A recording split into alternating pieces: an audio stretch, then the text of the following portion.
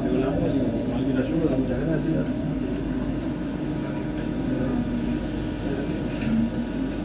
gracias.